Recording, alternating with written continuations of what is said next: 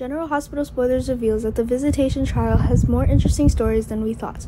Just when things were going very tense, Carly received a phone call from the hospital. She finally knows the exact relationship between Nina and Willow. Harmony did not fabricate, but Willow is Nina's biological daughter. Carly doesn't want Nina to be happy, so she'll probably keep it a secret. Meanwhile, Willow also tells Carly that she will give up searching for her biological parents. This made Carly more relieved. The outcome of the trial doesn't seem to be going well. Nina has left and Sonny is still frantically searching for her whereabouts. It was because of Nina's departure that made things much more complicated. During the trial, Josslyn was assigned to take care of Wiley. But somehow they happened to meet Nina. Wiley saw Nina and quickly ran to her place. When Sonny found Nina, she saw that the two of them were next to each other.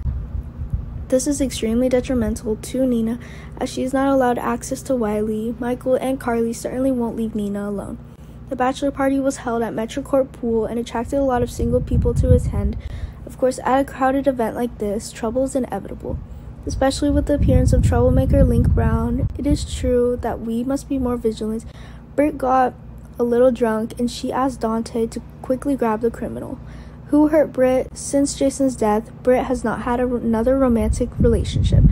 Perhaps Britt still feels tormented because she was the one who indirectly caused Jason's death. We're about to welcome Josh Kelly to the show, even though we don't know what role he's playing. Josh's character is related to Dante's past, and it is possible that he is the subject of the arrangement for Britt. Looks like Britt's trouble stories haven't stopped yet. Attending the party only caused Britt more trouble and not yet found a stable man, a suitable man.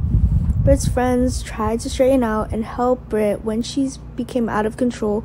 Britt is also in contact with a lawyer, so maybe she's going to have a trial.